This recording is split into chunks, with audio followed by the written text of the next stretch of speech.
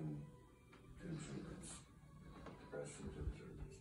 And you could name many, many cycles like that over the years.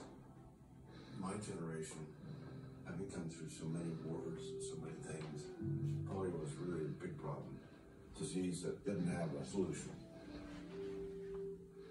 That they persisted and finally came up with Salk.